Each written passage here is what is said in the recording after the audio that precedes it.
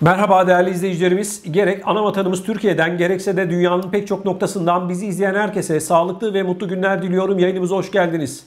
Kıymetli izleyicilerimiz Almanya başta olmak üzere Avrupa için savaş çanları çalmaya başladı.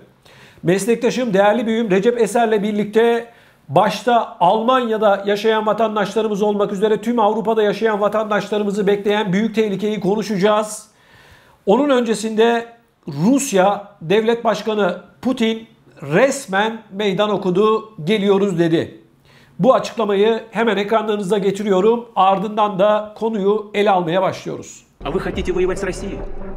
Вы спросите своих читателей, зрителей, пользователей э, интернет-ресурсами. Вы хотите? Хотите, чтобы Франция воевала с Россией? Но ведь так оно и будет. Европейские страны автоматически будут втянуты в военный конфликт с Россией. Конечно, э, значит, потенциал объединенной организации НАТО и России несопоставим. Победителей не будет. И вы окажетесь втянутыми в этот конфликт помимо своей воли. Вы даже не успеете глазом моргнуть. Evet Recep abi. Putin diyor ki geliyorum. Geliyorum diyor. Ayağınızı denk alın. Yani çok ciddi açık açık da soruyor. Rusya ile savaşmak mı istiyorsunuz diyor. Bunu bir halkınıza sorun diyor. Rusya ile savaş göz açıp kapayıncaya kadar zamanınız olmaz diyor. Fatih yayınlarımızda e, şu Rusya'nın füze teknolojisinden sık sık e, yer verdik onlara. E, Ne demiştin sen orada? Bir dakikada Berlin'e füzenin ulaşma. E, Yani Putin bir dakika bile değil demek ki. Yani e, bunu kastediyor aslında. Bizim söylediğimizi Putin de kastediyor. Gerçekten de değerli izleyiciler Rus füzelerine karşı Amerika yani Avrupa'da yaşayanların nefes almaya dahi e, zamanı olmaz, gözlerini kırpamaz. Evet çünkü yeni bir füze geliştirdiler. Bu füze kıymetli izleyicilerimiz saatte 12.300 kilometre hız yapıyor. Şu anda bu füzelerin bir kısmı Rusya'nın ana karasından kopuk vaziyette bulunan Kaliningrad Rus toprağıdır. Burada bulunuyor. Berlin'e bu hızda bir füzenin düşmesi sadece 60 saniye. Fatih Rus topraklarından da Almanya'ya bir füzenin düşmesi bir dakika olmuyor da e, o da yaklaşık 7-8 dakika oluyor. Dolayısıyla işte Polonya'yı aşarak, o bölgedekileri aşarak geliyor ama Rusya zaten Ukrayna'nın bir kısmına kadar geldi. Almanya'ya şu an daha yakın. Arkadaşlar bir de bu e, füzelerin şöyle bir özelliği var. Bunlar gemiden de Zirkon kullan. füzesi abi. Zirkon, evet, Zirkon füzesinin şöyle bir özelliği var. Uçaktan da atılabiliyor, gemiden de atılabiliyor. Yani sabit e, şeyden de istasyonlardan da atılabiliyor ama yani dolayısıyla Almanya yakınlarına gelmiş bir deniz altından fırlatıldığını bu Zirkon füzesini düşündüğünüzde çok daha kısa sürede hedefini bulur. Abi şimdi asıl soru şu. Şimdi Avrupa Birliği demek Almanya demek Fransa demek. Diğer ülkelerin çok fazla hem ekonomik olarak hem de siyasi güç olarak çok fazla gücü yok. Bunu biliyoruz. Zaten Avrupa Birliği Rusya korkusundan kuruldu. Gelip bir daha Ruslar işgal etmesin diye biz birlik olalım diye. Abi durduk yere. Şimdi bakıyoruz Almanya bu Ukrayna Savaşı'ndan önce Rusya'dan gaz alıyordu. Petrol alıyordu. Çok ciddi ekonomik ilişkileri vardı. Nitekim Almanya enerjide dışa bağlı bir ülke. Yani petrolü yok, doğalgazı yok, üretiyor ama bunları tamamını dışarıdan tedarik ediyor. Bu kadar büyük bir sanayi. Zaten kendi kendine yetmesi de mümkün değil. Peki derdi neydi de bugün bir numaralı düşmanı Rusya oldu ve şu ana kadar Almanya 50 milyar euronun üzerinde para harcadı bu işe. Yani senden benden aldığı vergileri gitti Ukrayna Rusya savaşı için harcıyor ve harcamaya devam ediyor. Yani derdi ne abi bu, bu Almanların? Müttefik olmak ayrı bir şey, piyon olmak ayrı bir şey. Maalesef bundan 30-40 yıldan önce e, Almanya'da biz de NATO'nun müttefikiyiz. NATO'nun amiral gemisi Amerika. Dolayısıyla Amerika'nın borusu öder. E, Birçok savunma alanında, işte istihbarat alanında e, Amerikan yetkililerinin söyledikleri emir telakki edilirdi. Ama e, Türkiye'deki terörün ardında Amerika'nın e, olduğunu gördüğünde bizim askerimiz, istihbaratçımız, siyasilerimiz bir şekilde Amerika'ya karşı müttefik olsak da bağımsız bir politika geliştirme yoluna gittiler.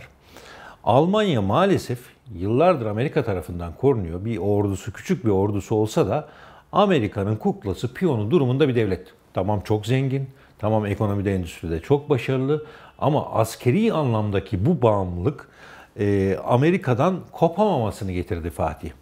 E, yani Ukrayna ve Rusya arasındaki sorunun başında Amerika bastırsa da Almanya son güne kadar aslında Rusya'dan gaz almaya, Rusya ile iyi ilişkiler sürdürmeye çalıştı. Ama ta ki Amerika masaya yumruğunu vurana kadar. Vurduğunda 24 saat içinde Alman politikaları değişti. Rusya'ya karşı tavır aldı. istemese de aldı. Yararını olmayacağını bildiği halde aldı. Bu göçle karşılaşacağını ve bugüne kadar herhalde Amerika'nın baskısıyla Almanya'nın e, Ukrayna'ya harcadığı para 50 milyar doların 50 milyar avronun üzerinde Fatih. Abi şöyle bir durum var. Ee, Almanya Amerika'dan bu konuyla ilgili medet umuyor. Şimdi bir soru soracağım kıymetli izleyicilerimiz ben size. Bu savaşı çıkartan kim? Bu savaşın olmasını isteyen kim? Amerika değil mi? Bu savaşı çıkartmaya istekli olan en büyük düşmanlarından bir tanesi olan Rusya'nın zayıflaması için bu savaşı başlatan Amerika'dan medet ummak ne kadar doğru? Bu şuna benziyor. Şu anda Filistin'de, Gazze'de masum insanlar hayatını kaybediyorlar değil mi? Bazı ülkeler diyor ki biz diyor bu konuyu Amerika ile istişare edelim diyor. Kardeşim savaşı çıkartan Amerika neyi istişare edeceksin? Bunlar kendileri savaş çıkartıyor zaten. Şu an Almanya'nın da yaptığı bu. Amerika'dan medet umuyor. Ya kardeşim zaten bu şu anki Ukrayna-Rusya savaşının temel nedeni Amerika. Adamlar 8000 kilometre öteden ellerini kollarını otuyorlar tamam ovuşturuyorlar. Güzel en büyük düşmanımız zayıflıyor. Avrupa emrimizde. Arkadaşlar şu anda Avrupa'da doğru düzgün ordusu olan bir tane ülke yok.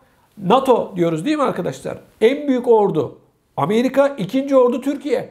Başka ordu ordu yok. Bakmayın bunların parası manası var. Ordu ordu yok. Şimdi bu paralı askerleri alabilmek için Türklere çağrı yaptılar. Almanya'da gelin siz de katılın 2500 euro maaş vereceğiz diye. Ya Fransa'nın da benzer durumu. 10-15 bin kişilik bir lejyon birliği var. Onun dışında askerleri savaş kabiliyetinden uzak. Yani üniforma giyseler de asker değiller. Yani Almanya'nın ve Fransa'nın ordusu kadar e, Türkiye'nin Kuzey Irak'ta, Irak'ta ve e, Güneydoğu bölgemizde her gün savaşın içinde olan pro, profesyonel askerlerimiz var Fatih. Yani bunlara ordu bile denmez aslında.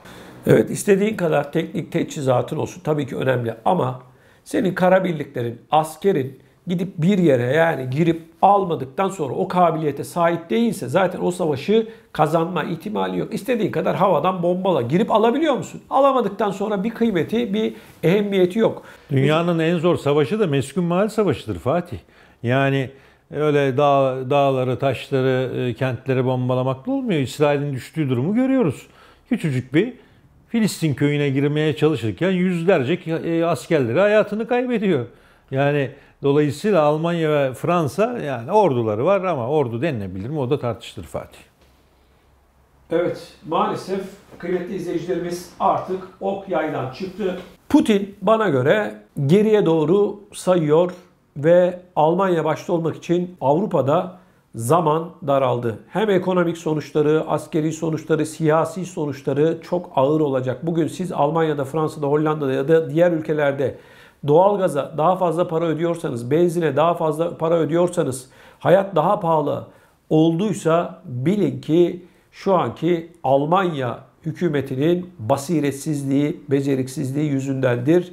Önümüzdeki günlerde daha ağır faturalar ödeyeceksiniz. Şimdi değerli izleyicilerimiz yurt dışında yaşayan vatandaşlarımıza 3 tane güzel haber vereceğim. Bunlardan bir tanesi. Türkiye'nin ve dünyanın en önemli turizm noktalarından bir tanesi olan, tarihi turistik bir nokta olan Çanakkale ilimizin Asos bölgesinin en büyük arsa ve villa projesinde taksitli bir şekilde satışlar başladı. Kısa bir süreliğine sadece bizim kanalımızın izleyicileri 625 metrekare villa arsalarını sadece 1 milyon TL peşinat ve ayda sadece 34 bin TL taksitle alabilecek. Yurt dışında yaşayanlar için anlatıyorum. 30 bin euro peşinat, 1000 euro da taksitle toplamda 66 bin euroya villa arsaları alabileceksiniz. Kaz Dağları'nın eteğinde, dünyanın en önemli, en temiz plajlarının dibinde ve muhteşem havası, oksijeniyle sizi bu büyük projeden arsa sahibi, villa arsası sahibi olmaya davet ediyoruz. Kısa bir süreliğine sınırlı sayıdaki villa arsalar için geçerli. 625 metrekare. Kapıkule'ye 3 saat mesafede, İstanbul'a 3 saat mesafede, İzmir'e 3 saat mesafede, Bursa'ya 2 saat mesafede, çok çok önemli bir noktada Balıkesir'e de 1 saat mesafede. Kıymetli izleyicilerimiz, 40 yılda bir ayağınıza gelen bu büyük fırsattan mutlaka istifade edin. Birikimlerinize birikim katmak istiyorsanız ve Türkiye'de doğru bir yatırım yaparak geleceğinizi garanti altına almak istiyorsanız mutlaka bundan yararlanın. Ekranda görmüş olduğunuz Asos Arsa ekibiyle dünyanın neresinde olursanız olun hemen WhatsApp'tan irtibata geçebilir ve arsanızı seçebilirsiniz. İsterseniz sevdiklerinizle birlikte komşu olmak için birlikte arsalar alabilirsiniz. 625 metrekareden 20 dönüme kadar arsalar var. Bütçenize göre. Taksitli satışlar kısa bir süreliğine geçerli. Arsa yatırımının Türkiye'de ne kadar kazandırdığını anlatmama sanıyorum gerek yok. Bilmiyorsanız da Türkiye'deki bir yakınınızı arayın. Arsa yatırımının ne kadar kazandırdığını öğrenin. Paranıza para katmak istiyorsanız bu fırsattan mutlaka yararlanın. Değerli izleyicilerimiz geldik ikinci güzel habere. Geçmişte Türkiye'de herhangi bir şekilde sigorta girişiniz olmasa dahi emekli olabilirsiniz. Eğer yurt dışında yaşıyorsanız. Özellikle hanımefendilere sesleniyorum. Siz yaşamış olduğunuz ülkede çalışmasanız dahi geçmişte Türkiye'de hiç çalışmasanız dahi emekli olabilirsiniz. Özellikle çocuğu olan hanımefendilere söylüyorum. Siz Türkiye'de çok daha kolay emekli olabilirsiniz. Bunun için yapmanız gereken şey çok basit. Ekrandaki telefon numarasıyla irtibata geçtiğinizde Emekli TV'nin Emeklilik Danışma Merkezi'ndeki görevli arkadaşlarımız sizinle hemen görüşüyor ya da mesaj atabilirsiniz. Şunu yapabilirsiniz. Ben veya eşim ya da ben ve eşim emeklilik danışmanlığı almak istiyorum diye WhatsApp'tan hemen mesaj gönderebilirsiniz. Sadece bir kişi 150 euro ödeyerek dünyanın neresinde olursa olsun Türkiye'ye gitmenize de gerek kalmadan tüm emeklilik işlemlerini yaptırabilecek ve emekli olacak. Siz ödemenizi yaptıktan sonra makbuzunu WhatsApp'tan yine görevli arkadaşlarımıza gönderiyorsunuz ve size hemen bir randevu veriyorlar. Randevu günü Emekli TV'nin sosyal güvenlik uzmanlarıyla görüntülü bir şekilde dünyanın neresinde olursanız olun hemen görüşüyorsunuz ve işlemlerinizi başlatıyorsunuz. Türkiye'de emekli olmak istiyorsanız, benim de eşimin de Türkiye'de bir garantisi olsun diyorsanız bu fırsat kısa bir süreliğine geçerli. Eğer karı koca ya da iki kişi birlikte danışmanlık alırsanız %50 indirim var. Normalde iki kişi 300 euro yaparken sadece 225 euro ödeyeceksiniz ve geleceğinize dair çok çok önemli bir adım atacaksınız. Bu fırsattan özellikle hanımların yararlanmasını istiyoruz. Kısa bir süreliğine geçerli bilginiz olsun. Geldik üçüncü habere. Şimdi özellikle yurt dışında yaşayan vatandaşlarımız içerisinde ben Türkiye'de saç ektirmek istiyorum diyenler var. Ama biliyorsunuz saç işi, sağlık işi güvenli bir yerden yaptırmak gerekiyor. Bunun için bizim kanalımızın izleyicilerine özel büyük bir fırsattan bahsedeceğim. Siz kendinizde bir değişiklik yapmak istiyorsanız, ister hanımlar ister beyler, biliyorsunuz hanımlar da saçla ilgili, kaşla ilgili vesaireyle ilgili pek çok işlem yaptırabiliyorlar. Şu anda ekranın altında görmüş olduğunuz Türkiye'nin en önemli ve en güvenilir saç ekim merkezlerinden bir tanesi olan Sagrada'nın iletişim numarasıyla hemen irtibata geçiyorsunuz. Beni izlediğinizi söylüyorsunuz ve bizim kanalımızın izleyicileri dünyanın neresinde olursa olsun ücretsiz muayene hakkı kazanıyor. Uzmanlar sizi WhatsApp'tan görüntülü bir şekilde arıyor, durumunuza bakıyor ve daha sonra size randevu veriyorlar. Türkiye'ye gittiğiniz zaman da işlemlerinizi yaptırıyorsunuz. Bitti mi? Hayır. Bizim kanalımızın izleyicilerine %10 indirim var. Beni izlediğinizi söylediğinizde Hemen size randevu verilecek. Uzmanlar sizi arayacak ve %10 indirimde kazanacaksınız. Şimdiden tüm vatandaşlarımıza hayırlı uğurlu olsun. Evet değerli izleyicilerimiz, gerek ana vatanımız Türkiye'den gerekse de dünyanın pek çok noktasından beni izleyen herkese sağlıklı ve mutlu günler diliyorum. Hoşçakalın.